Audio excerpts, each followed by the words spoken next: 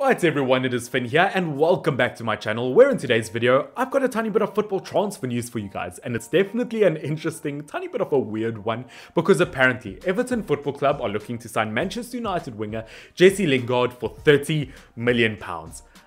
I know, right? And as a Manchester United fan, you better believe I'm going to share my opinion on the matter. Because in today's video, I'm going to be talking about why this transfer is beneficial to all three parties, Everton, Lingard and Manchester United, and whether Jesse Lingard is worth 30 million pounds. Now, as I said, this is definitely a tiny bit of a weird transfer, and I do believe it could be beneficial to all three parties, which of course, guys, if you do like regular football news, whether it be transfer news or just general updates, and you're not subscribed to this channel, please do consider subscribing down below. It helps me and the channel out quite a bit, and obviously you do get to catch more content like this in the future. But Jesse Lingard, looking at him, if he moves from Manchester United to Everton, I do believe that we can confirm that maybe he does have a tiny bit of a fetish for playing for teams that David Moyes has managed, which in that case, I'm highly disappointed that David Moyes didn't end up getting the Real Madrid job. We could have seen something truly special with the likes of Jay Lings dabbing it out at the Bernabeu, but you know what, maybe, maybe it can still happen. Never let your dreams die. But looking at Jesse Lingard, if he moves to Everton, I truly believe this could be an incredibly smart thing to do at this stage of his career. He is 28 years old, the prime of his career, as most people say, but on the other hand, I mean, the later stages of his career where he truly has to make some smart decisions. Yes, I know he's not that incredible 19, 20 year old player that's going to achieve great things like win the Ballon d'Or. Yes, I know many people say that Lionel Messi looks up to him. The old stale jokes we've been saying for years now. But at the end of the day, Jesse Lingard has to make some smart decisions and moving to Everton could be one of them. I believe it will be beneficial to him. I believe he'll get more game time there. Because looking at Manchester United, if Jesse Lingard plays in the wing position, which he did for West Ham United last season, I don't see him really competing against other players. I don't see him getting the game time he deserves because he will be competing against the likes of Jadon Sancho, Marcus Rashford, Greenwood, and Daniel James. And yes, he might sneak in quite a few games, quite a few minutes. I don't think he'll get the game time he deserves. And if he plays in the attacking midfield position, I mean, he's just not going to play over Bruno Fernandes, is he? So moving to the likes of Everton could be great for them because looking at Everton in terms of their winger position, Rafa Benitez, the Premier League legend, is back in the Premier League and he has said that he is looking for a wide player, a winger who can cross balls into the box for the likes of Calvert-Lewin, and I believe Jesse Lingard could be the perfect player for this. Now, looking at Everton's current winger situation, they do have the likes of Andros Townsend, who they've just brought in for free from Crystal Palace, which I really do believe that is a great transfer. I feel like he could do a solid job. They also have the likes of James Rodriguez, Bernard, Iwobi, Walcott, and Richarlison, who can play in the striker position. And to be honest with you guys, I believe over most of those wingers, Jesse Lingard could get in this team. I believe he could get regular week in, week out football. Obviously, the likes of James Rodriguez is the strongest winger out of all of those.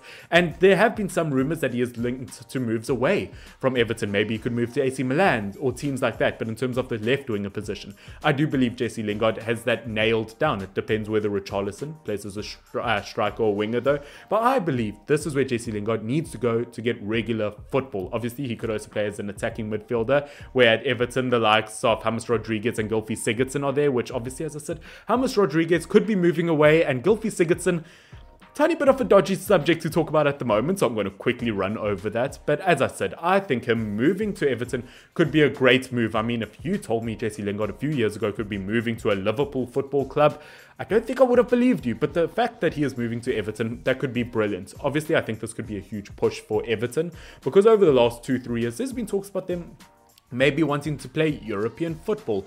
Obviously, teams like Aston Villa and West Ham United have been pushing over the last few years. West Ham United now have European football next year.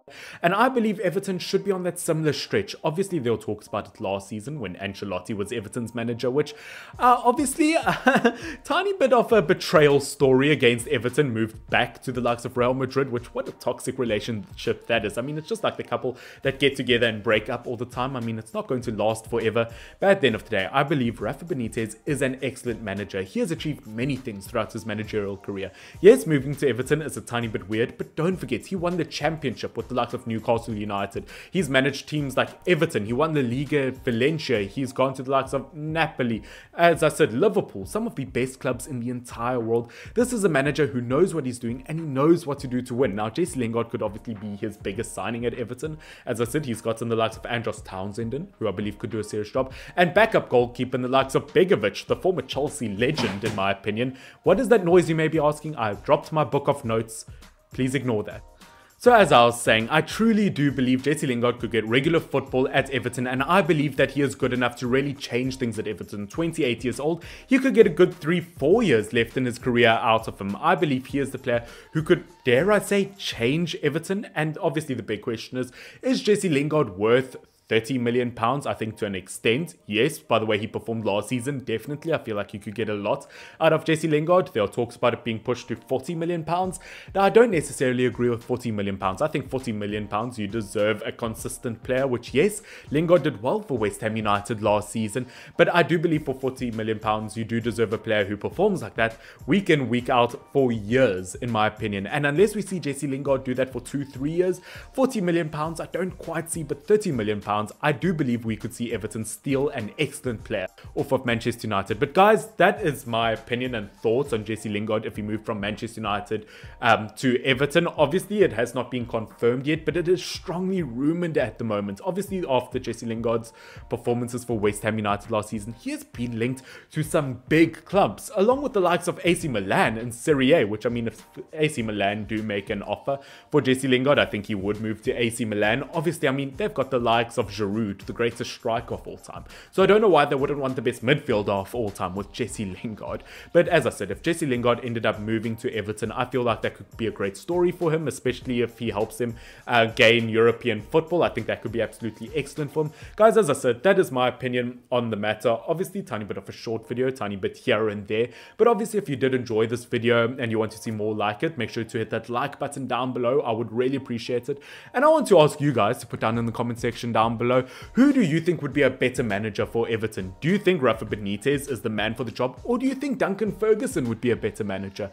Obviously, I mean, I've got my say on the matter. I just don't understand why Duncan Ferguson didn't get the job. We've seen him as an interim manager before for Everton, before the likes of Ancelotti took over the job. He was absolutely excellent in that spell where he did well against the likes of Manchester United and Chelsea. I remember that spell. He was excellent. I mean, he probably knows Everton better than any manager who, who could come in. So I'm a bit surprised that Ferguson didn't end up getting the job. Obviously, he would only be the second greatest ever Scottish manager in the Premier League that's named Ferguson. But you know what? At the end of the day, losing to Alex Ferguson isn't the worst. I'm surprised Ferguson didn't get the job, but I do believe Rafa Benitez could still do a solid job. I want to hear your guys' opinions down below.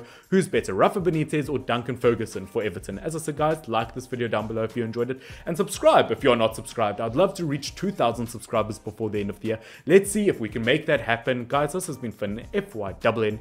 And I hope you enjoyed today's video and I hope you enjoy the rest of your days.